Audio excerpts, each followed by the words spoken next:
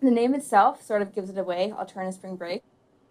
I don't typically do much during my spring break, so it's a perfect way to do something. I love to volunteer, and any chance that I can get, I will do it. I am volunteering for a week to help strangers, help outside of my community. You go in not knowing who you're going to meet, whose lives you're going to touch, and seeing what they go through a daily basis just puts my life into a different perspective. The reason to why I do this is because of my father.